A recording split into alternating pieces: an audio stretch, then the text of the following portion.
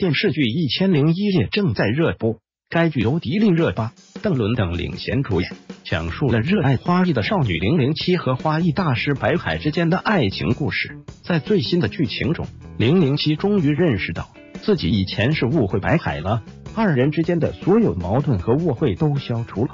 零零七决定重新追求白海，于是，在闺蜜兼爱情导师陆宝妮的指导下。零零七决定从改变自己做起，要征服男人的心，就要先征服他的胃。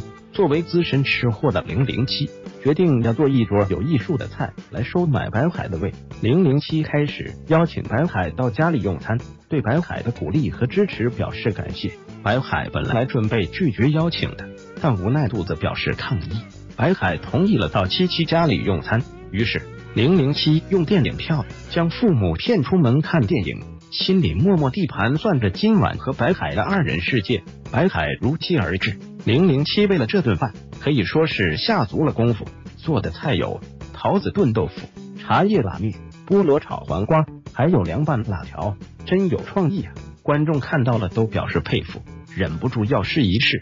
不过好不好吃真难说。白海看着满桌子的菜，却无从下口。最后只好选择了最熟悉、最喜欢的凉拌辣条。只是这一吃下去，这是什么味道？简直难以形容，竟然是芥末味道的。具体怎么形容？建议你可以尝试一下辣条沾芥末。欢迎你尝试以后留下你的感受。原来零零七将芥末油和香油搞混了。